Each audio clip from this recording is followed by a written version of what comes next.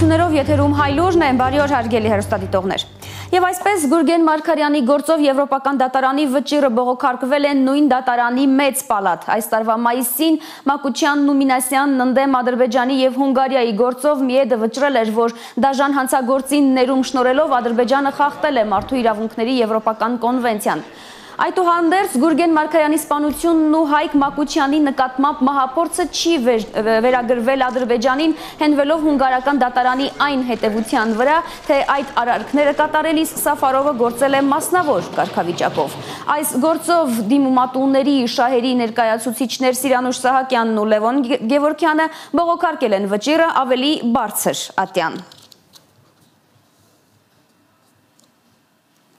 Շարունակենք Երևանի ավականին այսօր քաղաքապետի տեղակալ է ընտրելու թեկնածուն Սերգեյ Ներսեսյանն է։ Այս հարցի քննարկմանը ներկա չէ քաղաքապետը Հայկ Մարությանը վատարողջը եւ չի ներկայացել ավականու 5-րդ նստաշրջանի առաջին նիստին։ Նրա փոխարեն նիստը վարում է փոխքաղաքապետ Հրաչյա Սարգսյանը։ Այսօրվա նիստի օրակարգում նաեւ մարտի 1-ի զոհերի հիշատակին նվիրված հուշարձանի տեղադրման հարցն է։ Օրակարգային 16-րդ հարցով էլ ավականին առաջարկում է Լեպսիուսի երկրորդ փողոց փողոցը անվանափոխել Ուսուբեկ Թեմուրյանի անունով։ Մեր երկրում կորոնավարակակիրների թիվը մոտենում է 45 հազարի, վերջին 24 ժամում եվս 108 մարդու է կորոնավիրուս ախտորոշվել։ Հայաստանում 4 վարակակիր է մահացել, համարվում է, որ նրանցից երերքն են մահացել վարակից, որոնք քրոնիկ հիվանդություններ են ունեցել։ Տարօրինակ դեպք է տեղի ունեցել Աստղիկ բժշկական կենտրոնի մոտ հիվանդանոցի Բաքում հրազենային վնասվածքով տղամարդու դի է հայտնաբերվել։ Ըստ Շամշյան կոմի իրավապահները դեռ պարզում են մահացածի ինքնությունը։ Հիվանդանոցի մոտ հավաքվածները ֆոտոլրագրողին հայտնել են, որ եւս մեկ վիրավոր հիվանդանոցում է։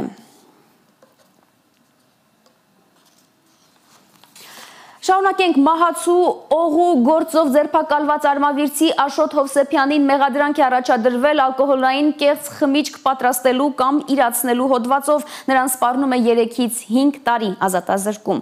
50-ամյա տղամարդը կալանավորվել է։ Եվս երկու մարդ, որոնց անուն անունները նախաքննությունը չի հրապարակում, կալանավորվել է հիմնական մեղադրյալին օժանդակելու համար։ 17 մարդու կյանք խլած ալկոհոլային աղետից հետո սպառողների շահերի պաշտպանները առաջարկում ձեռնարկում են մեկ շաբաթով ամբողջ երկրում դադարեցնել ալկոհոլի վաճառքը, մինչև կպարզվի, թե մահացու մեթիլ սպիրտը ինչ ծագում ունի։ Կիրակի երեկոյան անգիտակից վիճակում եւս մեկ քաղաքացի արմավիրից տեղափոխվել Արմենիա բժշկական կենտրոն։ Հիվանդանոցի փոխտնօրեն Աշոտ Կուրղինյանը հայլուրին հայտնել է, որ նրա ախտանշանները շատ նման են մեթիլ սպիրտից թունավորմանը։ Այս պահին Արմենիա բժշկական կենտրոնում նրանից բացի մեթիլ սպիրտից թունավորված 3 քաղաքացի կա։ Մեկի վիճակը կայուն ծանր է, երկուսինը ծայրահեղ ծանր, ունեն կուրություն։ Առողջապահության նախարարության տվյալով հանրապետությունում մեթիլից թունավորման ախտանշաններով հոսպիտալացված է 7 քաղաքացի։ Մեկ շաբաթում ալկոհոլային թունավորման 46 դեպք է հայտնաբերել։ Պետական որ գերատեսչությունը պետք է ողրզի թունավոր օղին որտեղից է ձեռք բերվել։ Եվ այս հարցով իմ գործընկեր Աննա Հովանիսյանը փորձել է գտնել մեղավորներին։ Տպավորություն է, թե 90-ականները վերադարձել են։ Մոտ 25 տարի առաջ Հայաստան էր ներմուծվել ու վաճառվել մեծ քանակի մեթիլ սպիրտ։ 2-3 մարդ մահացել էր, երկուսը կուրացել, հիշում է սպառողների շահերի պաշտպանը։ Մի անգամից մենք հետազոտեցինք որտեղից, ինչպես, ով է բերել եւ այլն, այլն, եւ ամբողջը կոմպ բան արվեց ոչնչացվեց։ Ինչ որ մի մասել ասին հետ ենք ուղարկել։ Այսինքն պետությունը արգրավեց, մի անգամից ոչնչացվեց։ Մելիտա Հակոբյանն ասում է, եթե այն ժամանակ 17 մարդ մահանար, դեմոգրաֆիական խնդիր ունեցող Հայաստանում իսկական աղետ կհայտարվեր, որպեսի մեթիլը ավելի չտարածվի, առաջարկում է մեկ շաբաթ կասեցնել ալկոհոլի վաճառքը։ Ազգաբնակչությունը, երբ որ տեսնում է դու ինչ որ բանից անհանգստացած ես, իրենք մոտենում են քեզ եւ դա արդեն կյանքի ու մահվան հարց է, էլի, հասկանում եք, մոտենում են քեզ եւ ասում, գիտեք ինչ, այ ես ինչ տեղը արտադրում են, միգուցե նրանցն է։ Եվ այդպես բոլոր արտադրամասերը ստուգելով մենք կարող էինք հայտնաբերել եւ չարտոնագրված այդ արտադրամասը։ Արմավիրում Աշոտ Հովսեփյանը 10 տարի օղուգործ է արել հարկայինի ու թաղայինի քթի տակ, բայց ապօրինի ձեռնարկատիրության մասին ոչ ոք չի ահազանգել։ Տվյալ բնակչության համար նախատեսված տեսուչը լավ գիտի, թե ով ինչով է շնչում։ Նույնիսկ գիտի, որ բնակիչը ինչքան է շնչում։ Ամեն ինչ մանրամասը գիտի։ Որտեղ են դրանք։ Ինչ են արել այդ ժամանակահատվածում։ Ստացվում է օղու ապորինի վաճառքի մասին արմավիրում բոլորն են իմացել, բացի իրավապահներից, իսկ եթե իմացել են ու թաքցրել, արմավիրի քաղաքապետը չի մեկնաբանում մինչև նախաքննության ավարտը։ Քանի որ այս հարցով նախաքննություն է գնում եւ ոստիկանություն ու քնչական կոմիտեն զբաղվում են, կարծում եմ հարցերի պատասխանները նախաքննության ավարտից հետո իրենք կտան եւ իրավասություն իրենցն է։ Նախաքննությանը չխանգարելու համար քնչական կոմիտեն առայժմ չի մեկնաբանում մահացու մեթիլը եղել է տեղական գործարանային արտադրության, թե ներմուծվել է կամ ինչ ծագում ունի Երևանում կյանքեր խլած բժշկական սպիրտը։ Եթե տվյալ ապրանքը գալիս է մտնում է Հայաստանի սահման ներկայացվում է ինչ ապրանքատեսակը այդ ինչ ապրանքատեսակը անպայման պետք է նշված լինի, թե ինչի համար է օգտագործվելու։ Ուրեմն անպայման տեղում թե սննդի անվտանգությունը, թե հարկային մարմինները պետք է հնարավորս ուղությունները հետևեն։ Պետական եկամուտների կոմիտեից հայտնում են, որ ապորինի ձեռնարկատիրության հետքերով կարող են գնալ, եթե կա ահազանգ։ Սպիրտը ներմուծում են վաքսային կարգավորումներով։ Հիմնականում մեթիլ օգտագործում են գործարաններում լվացման աշխատանքների համար։ Շշի վրա պետք է լինի թունավոր, անգույն հեղուկ գրառումը։ Բա ամներ մարդիկ գնում են դրա պատճառով։ Բա պետք է հսկեն բռնեն, դատեն, որ վերացնեն այդ թույնը ժողովրդի օրգանիզմից։ Սովետի ժամանակ որ տունը գյուղացին արաղեր քաշում ինչ որ մրգից վարկել եմ չէին թողել Հիմա էլ արկել են, դա եք ուզում ասեք։ Դե պետք է արկել են, հետևեն, որ ինչ ըլնի չխմեն, ինչ որ ձեռնանգան խմում են։ Հայաստանում բանվորները սովորաբար օրը սկսում են մի բաժակ, հիմնականում էժանագին օղիով, ու հաճախ ուշադրություն չեն էլ դարձնում ինչ է իրենց խմածը, կարևորը թնդությունը տեղը լինի։ Փորձագետները այդ մարդկանց չեն մեղադրում, պետական մարմինները պետք է իրենց տեղում լինեն, որ թույնը բանվորի ձեռքը չընկնի։ Աննա Հովանիսյան, Հովանես Իշխանյան, Նորայ Շարբաթյան, Հայլուր։ Մոտ 20 րոպեից առաջին ատյանի դատարանում շարունակվելու է սահմանադրական կարգի ենթադրյալ տապալման գործով դատավարությունը երկու տարի ոչ մի դատական նիստ բաց չթողած մարտի 1-ի զոհերի հարազատները հավանաբար այսօր չեն մասնակցի նիստին։ Նրանք դատավարությունը անվանել են անբովանդակ միջոցառում եւ հայտարարել, որ այլևս չեն մասնակցելու դատավարությանը։ Նրանք իշխանությանն են մեղադրում իրավական լուծումներ չգտնելու գործի քննությունը ձախողելու համար։ Երկրորդ նախագահի փաստաբանները դատավարության հենց առաջին օրերից էին պնդում նշում, որ այս գործը կապ չունի մարտի 1-ի սպանությունների բացահայտման հետ ու զոհերի իրավահաջորդները էմոցիոնալ ֆոն ապահովելու համար էին դահլիճում։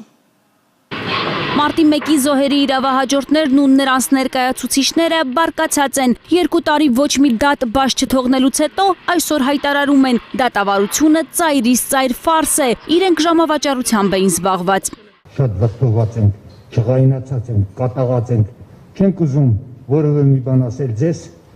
մենք հատարեցնում ենք մեր ֆիզիկական մասնակցությունը այս անբովանդակ միջոցառմանը։ Ամբովանդակ միջոցառում է, որովհետև այնտեղ քննվող քրեական գործն է անհեթեթ, ավելացնում է երկրորդ նախագահի փաստաբան Արամ Վարդևանյանը։ Մեկ անգամ չէ, որ ասել են գործն ամբողջությամբ ջուր է։ Ես ինքս նաև կդժվարանամ ասել, թե ինչի մասին է այս քրեական գործը, բացառությամբ, որ վերնագիրը սահմանադրական կարգը տապալելն է։ Սահմանադրական կարգի ենթադրյալ տապալման գործով դատավարությանը, թե ինչ էին անում մարտի 1-ի զոհերի իրավահաջորդները, փաստաբանները 2 տարի է չեն հասկանում ներկայիս կազմով հանդես եկող տուժողների իրավաճորտների ներկայացուցիչները առնչություն չունեն քրեական գործի հետ։ Այս գործով տուժող ընդհանրապես լինել չի կարող։ Փաստաբանի խոսքով տուժող կարելի է կարգել կամ սահմանադրությանը, որպես փաստաթուղթ կամ էլ Հայաստանի ամբողջ բնակչությանը։ Երկու դեպքում էլ կատարյալ հիմարություն է։ Ըստ փաստաբանի ընտրվեց երրորդ. Զոհերի իրավահաջորդներին տուժող կարգելու տարբերակը։ Նպատակը մեկն էր՝ դատավարության հուզականությունը պետք է ապահովեին։ Մոլոտովի կոկտեյլների, քարերի եւ նաեւ երկաթներով հարվածներից հարյուրավոր երիտասարդ ոստիկաններ, որոնք իրենց ծառայողական պարտականությունն էին կատարում այդ ժամանակ, տուժել էին եւ շփաթներով հիվանդանոցներում պարկել էին։ Դրա տեսանյութերն էլ կա, դրանց վերաբերյալ նույնիսկ դատական ակտեր կան օրինական ուժի մեջ մտած եւ երբևէ չվերանայված։ Այս պայմաններում խոսել, որ տուժողները այս գործով միայն այն անձինք պետք է լինեին, որոնք այսօր էլ հայտարարում են, էլ չեն ցանկանում մասնակցել, սա եւս իրավական աբսուրդ էր։ Արամ Վարդևանյանը հիշեցնում է, դատավարությունը սկսելուց մի քանի շաբաթ առաջ մարտի 1-ի 10 զոհերի իրավահաջորդներին 30 միլիոնական դրամ տվեց կառավարությունը։ Նրանք էլ ամեն 3 շաբթի դատարանում էին։ Հուզական ելույթներից բացի որևէ իրավական հակափաստարկ չունեին կարծես թե իրենց մշտապես բարձրաձայնած հարցը եղել է զոհերի մահվան դեպքերի բացահայտումը, որի հետ կապված որևէ տեղեկություն չկա։ Մարտի 1-ի զոհերի իրավահաջորդների դատարանում լինելը փաստաբանի խոսքով օրենքի բացահայտ խախտում է։ Նրանք դատարանում էին, որովհետև մեղադրող կողմն ու դատավորն էին այդպես ցանկանում։ Հանրության համար ակնհայտ դարձավ, որ այս գործը որևէ աղերս չունի մարտի 1-ի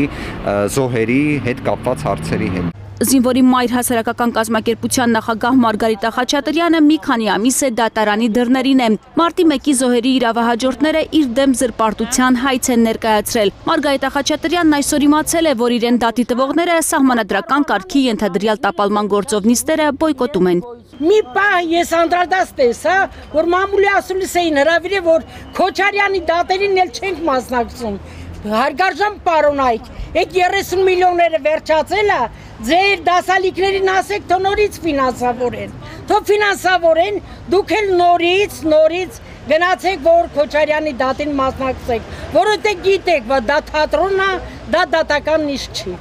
Վետո հասարակական քաղաքական շարժման ղեկավար Նարեկ Մալյանը Երևանի քաղաքապետ Հայկ Մարությանին գրություն է ուղարկել, առաջարկելով մարտի 1-ի զոհերի հիշատակին տեղադրվելիք հուշարձանի կողքին տեղադրել նաև իր ձևակերպմամբ մարտի 1-ի զոհերի հիշատակը կայուն եկամտի աղբյուր դարձրած մարդկանց հավաքական արձանը։ Վետոն հուշարձանի էսքիզը պատկերացնում է Վահե Գրիգորյանի կիսանդրու տեսքով, իսկ կիսանդրու պատվանդանի հատվածում դոլարի նշան։ Հակասորոսական շարժման ղեկավարը գրությանը կիս ներկայացրել է իր պնդմամբ Սորոսից մարտի 1-ի զոհերի թեմայով Վահե Գրիգորյանի ստացած 10300 դոլարի մասին փաստը։ Գայանե Բալայան, Աշոտ Մնոյան, Հայլուր։ Ինչ անել զրպարտող, վիրավորող, ոսկորներ լվացողների հետ, որոնք դեմք չունեն, ֆեյքեր են, ֆեյք մարդիկ, էջեր, յութուբյան ալիքներ, եւ արդյոք հնարավոր է տուգանել այդ մարդկանց, երբ երկրի վարչապետն է անգամ իր պաշտոնական էջում տարածում մեդիա գրագիտությունից հերու սենսացիոն լայքաբեր նորություններ։ Աննան սարսափելի կրակ բացեց, ողջ Ադրբեջանը լացում է։ Աննան հանեց սարսափելի զորքը, ողջ ազգը սրան էր սպասում։ Նիկոլը կատաղած զանգեց Պուտինին, Մոսկվան պայթեց հայերի մասին լուրերով։ Fake news-ի դեմ անողոք պայքարի մասին հայտարարություններով հայտնի իշխանությունը չի տեսնում, թե չի ցանկանում տեսնել այս fake լուրերը։ ԱԱՑ-ն սկսեց պայքար, բայց սկսեց պայքար նրանց դեմ, ովքեր քիչ թե շատ անդիմանում են կառավարության այն ժամանակ, միգուցե նույնիսկ կայքեր կային, որ ստեղծվել են հենց իշխանությունների կողմից իշխանություններին վարկաբեկելու համար, որպեսզի ճիշտ պահին տենց մի քանի օկու բացահայտեն ու հերթական PR ապահովեն իրենց։ Բլոգեր Տիգրան Քոչարյանը վստահ է, ֆեյքային ինդուստրիան մեր երկրում լավ մեջք ունի, լավ փող է աշխատում, գնում է հազարավոր լայքեր ու դիտումներ, ստեղծելով պատրանք, թե օրվա իշխանության մասին հեքիաթի ժանրի հրապարակումները պահանջարկ ունեն մի քանի հայտնի այսպիսի YouTube-յան ալիքներ կան կարող եմ գովազդել, կարող եմ չգովազդել։ Չգովազդենք այդ ալիքները, դրանք շատ են, տեղադրում են այսպես կոչված քլիքաբեր նյութեր, ստեղծում պարակտող տրամադրություններ, շատ հաճախ անցնելով բարոյականության բոլոր սահմանները եւ դա փորձում են ծախել կառավարության վրա եւ որոշ դեպքերում հաջողում է մենք կարող ենք հիշել որ նույն Նիկոլ Փաշինյանը առնվազն երկու անգամ Perfect TV-ի չեր է արել իր պատին Վերնագրերը, հա Նիկոլը 20 տարի առաջ արխիվից հանած բացառիկ տեսանյութ շտաբ դիտել, այսպես իրենց մյուս տեսանյութերին բնորոշ վերնագիր եւ հաջորդը Նիկոլին Դատինովը իրականում Նիկոլ Փաշինյանը սենսացիոն տեսանյութ, որը դուք մինչեւ հիմա չեք տեսել, այնտեղ հավանաբար տեսել բառն է այսպիսի սենսացիոն վերնագրերով բնականաբար շատ հեշտ է լինում գրավել մեդիագրագիտության ցածր մակարդակ ունեցող մարդկանց, իսկ այդ մարդկանց քանակը բնականաբար բոլորիս էլ հայտնի է, որ քիչ չեն, հա, շատ են։ Խորհրդարանի փոխխոսնակը չի պատկերացնում, թե ինչպես է հնարավոր պայքարել մեդիագրագիտության պակաս ունեցող անպաշտպան, բայց հպարտ քաղաքացուն նման թակարդները գցողների դեմ։ Շատ դժվար է այդ եզրը գտնել ազատ խոսքի եւ լկտիության, կեղծիքի եւ մյուսի։ Եվ այստեղ այդ խնդիրը կա աշխարհով մեկ։ Ալեն Սիմոնյանը իրեն զրպարտողների, իր մասին ստեր տարածողների դեմ 6 հայց է ներկայացրել, վստահ է, որ մեղավորներին կբռնեն, բայց չի պատկերացնում այս པարս հարցի լուծումը։ Լուսավոր Հայաստանի նրա գործընկերը բնավել չի կարծում, թե ֆեյք ալիքների դեմ պայքարը այդքան դժվար մի բան է։ Նման հարցերի լուծումը մի քանի օրվա խնդիր է, կարելի է այդ հարցերը լուծել եւ դրանով իսկ վերջացնել։ Այդ ֆեյք նորությունների կամ կեղծ նորությունների արդյունքում հարային մտնոլորտը կրիտիկական նիշի է դառնում, երբ որ հնարավոր է նաև բռնությունների կատարում։ Այսպես որ հրաապարակում են Իշխանությանը օգնության է հասնում անտիֆեյք կետեյեմը, եթե քաղաքական կամք կա ֆեյքերի դեմ պայքարելու։ Անտիֆեյքը շատ YouTube-յան ալիքների մասին գրեթե ամեն բան կարող է պատմել։ Ով է սեփականատերը, որտեղից է ֆինանսավորվում։ Այդ բոլոր YouTube-յան ալիքներին նաև միավորում այն հանգամանքը, որ բոլորը զբաղված են նաև ստեր կեղծիքներ տարածելուն զուգահեռ, ազգամիչյան թշնամանք նաև հարուցելուն զուգահեռ զբաղված են Նիկոլ Փաշինյանի նրա ընտանիքի անդամների պաշտպանության պես ասած։ Ինչու իշխանությունը ազգային անվտանգության հարցի սրությամբ չի նայում այս խնդրին։ Տիգրան Քոչարյանը իր պատասխանն ունի։ Հեղափոխական աննախադեպիզմի ու լայքասիրության տիրույթում է խնդիրը։ Լայքամանյան գալիս է ՀՀ վարչապետ Նիկոլ Փաշինյանից, որը համար մեկ լայքամանն է, հա, այսպես ասենք, եւ որը ապրում է ժամանակին լավ ձևակերպում տրվեց երկիր ՀԺ պրինցիպով, այսինքն ամեն օր ինչ որ լայքաբեր նյութ պետքա լինի եւ ամեն օր ժողովրդին պետք է զբաղացնեն մի ինչ որ sense չչացող վերնագրով, որպեսզի ինքը մոռանա տվյալ բային Հայաստանում ինչ է տիրում։ Եթե հանկարծ ուղի եթերում ընկնես ձիուց, ինձ թվում է դիտումները կտրուկ կավելանան ինքը չի մտածում, որ կարող է վնասվի, հա, երեխան կարող է ինչ-որ խնդիր լինի, կարող է աստված չտա ոդկա ջարդվի, ինչ պրոբլեմ կարող լինի, մտածում է բան։ Հեսա կանգնի լայքերը կշատանան։ Իսկ ինչքան կշատանան լայքերը, եթե բոլորս ընկնենք, եթե բոլորիս մի բան լինի, հարևան երկրում, որ հաստատ անխնա կտարածեն նման նյութերը։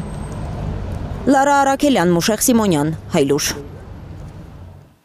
Տեղափոխվենք Բելարուս, որտեղ ընդդիմության անհետացած առաջնորդներից Մարիա Կոլեսնիկովան, Անտոն Ռոդնենկովը եւ Իվան Կրավցովը հայտնաբերվել են ընդդիմադիրները, փորձել են հատել Բելարուսի եւ Ուկրաինայի սահմանը։ Կոլեսնիկովային ձերբակալել են, իսկ մյուս երկուսն այժմ Ուկրաինայում են։ Երկու շաբթի տեղական լրատվամիջոցները գրեցին, թե Մինսկի կենտրոնում առևանգել են համակարգող խորհրդի անդամ Մարիա Կոլեսնիկովային։ Նրա հետ անհետացել էին նաեւ Կրավցովը եւ Ռոդնենկովը։ Այս լուրերից հետո Գերմանիայի եւ Մեծ Բրիտանիայի Գերմանիայի արտգործնախարարները Բելարուսի իշխանություններից պահանջել էին ընդդիմադիրներին անվնաս տուն վերադարձնել։ Ըստ Guardian պարբերականի Եվրոպական միությունը Բելարուսից պահանջել է անմիջապես ազատ արձակել Կիրակի տեղի ունեցած միասնության երթի ժամանակ ձերբակալված ավելի քան 600 ցուցարարին։ Կալիֆորնիայում անտարային հրդեհների տարածքը գերազանցել է 2018-ի ռեկորդը եւ հասել 809 հազար հեկտարի։ Պատասխանատուներին անհանգստացնում է, որ ռեկորդը գրանցվել է անտարային հրդեհների սեզոնի մեկնարկին։ Սեզոնային հրդեհները արդեն ոչնչացրել են հազարավոր տոններ եւ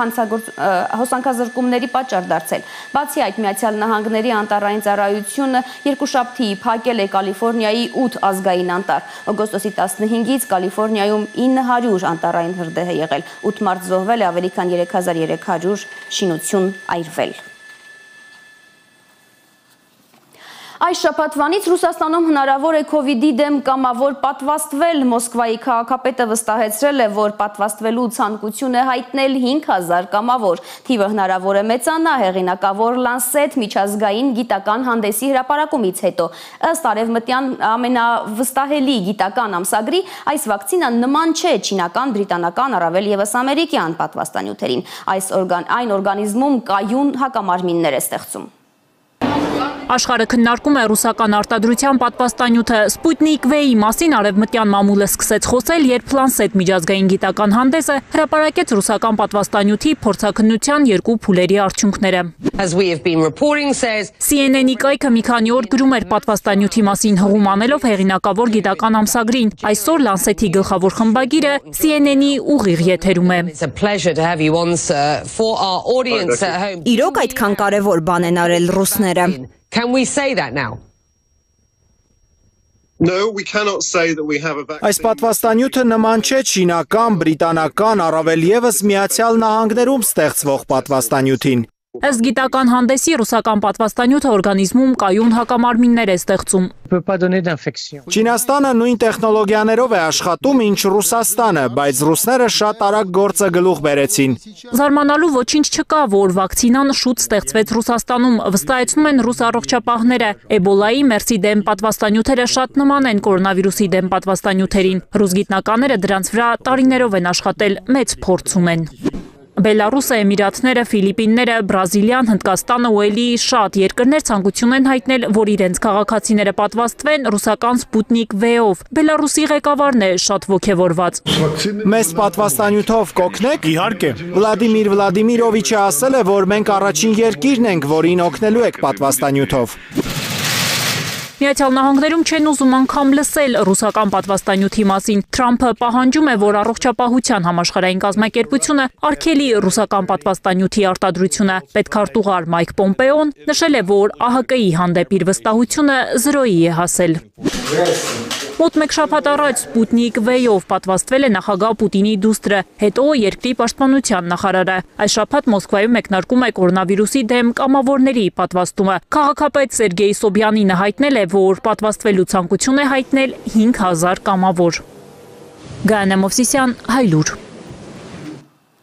Թողարկման վերջում Չիկո անունով 9-ամյա թութակի մասին, որը համացանցի աստղ է դարձել If I Were a Boy երկելուց հետո BNC-ի երկրպագու թութակի անունով բրիտանական կենթանաբանական այգին Instagram-յան էջ է բացել։ Այնտեղ տեղադրելու են թութակի բոլոր կատարումները։